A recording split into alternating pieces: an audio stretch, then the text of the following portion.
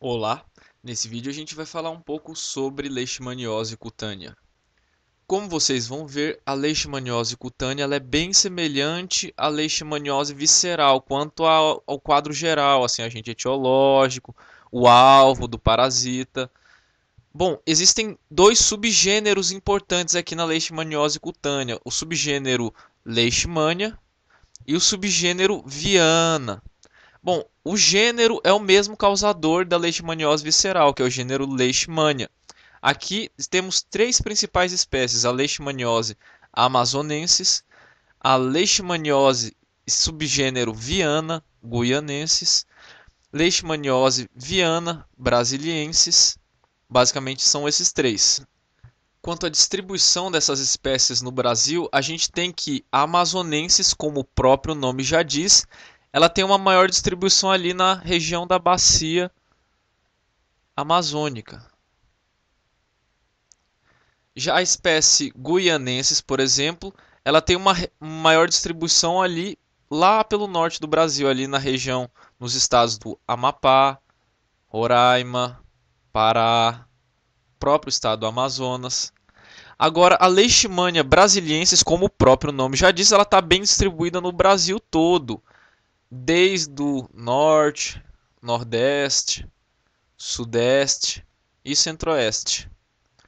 Bom, qual que é o alvo do parasita, do Leishmania, qualquer que seja a espécie dele? O alvo é o macrófago, assim como na leishmaniose visceral, o alvo aqui são os macrófagos. Bom, o vetor é o mesmo lá, só que aqui a gente tem algumas espécies diferentes. Lá no, na leishmaniose visceral a gente tem que a principal espécie é Lutsomia longipalpis. Aqui a gente tem como principal espécie o Pessoai, intermédia, o Itamani e tem o Elcomei também. Bom, o ciclo é semelhante ao da leishmaniose visceral. A gente tem aqui de início o inseto díptero, o Lutsomia. Ele vai por meio da picada inocula as formas infectantes. Quais são as formas infectantes? Semelhante à leishmaniose visceral, são os promastigotas metacíclicos. Metacíclicos. As formas infectantes vão em direção ao macrófago. Opa, aqui está a cor errada.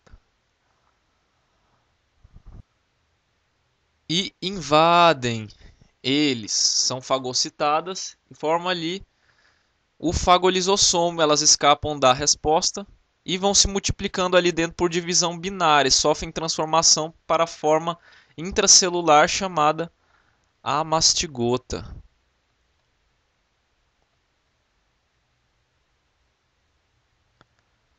Chega a um ponto que elas se multiplicam tanto que a célula sofre lise e essas formas amastigotas elas são liberadas infectando outros macrófagos ou esses outros macrófagos que contêm a forma mastigota podem ser sugados pelo mosquito, terminando o ciclo.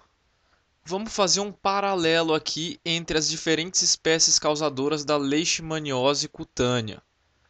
Na espécie Leishmaniose amazonense, você tem aí tipicamente lesões nodulares e fechadas. Além disso, nas lesões, você encontra uma grande quantidade de macrófagos e uma grande quantidade de parasitas. Isso vai ser importante para diferenciar no diagnóstico. No caso de leishmania guianense, você tem múltiplas úlceras pequenas com grande quantidade de exudato, que é aquele líquidozinho típico da inflamação. Essas lesões são comumente chamadas de úlcera que chora. Opa! Úlcera. Nas lesões são encontrados poucos parasitas só que são encontrados muitos linfócitos, diferente da leishmania amazonense, que é encontrado poucos linfócitos, muitos macrófagos e muitos parasitas. No caso da leishmania brasiliensis, aqui tem um, uma informação muito importante que ela é causadora da leishmaniose mucocutânea. Nessa leishmaniose mucocutânea você tem metástases na mucosa nasal e na boca. Você tem ali parasitas se proliferando na região do septo nasal e pode causar destruição do septo nasal ou até mesmo da região ali do palato. A gente tem duas formas distintas de diagnóstico laboratorial. São duas as principais formas. O diagnóstico direto, você vai fazer uma raspagem das bordas das lesões, vai procurar pelas formas amastigotas.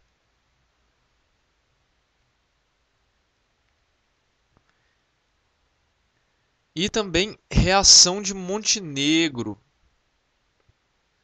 que é uma reação do tipo hipersensibilidade tardia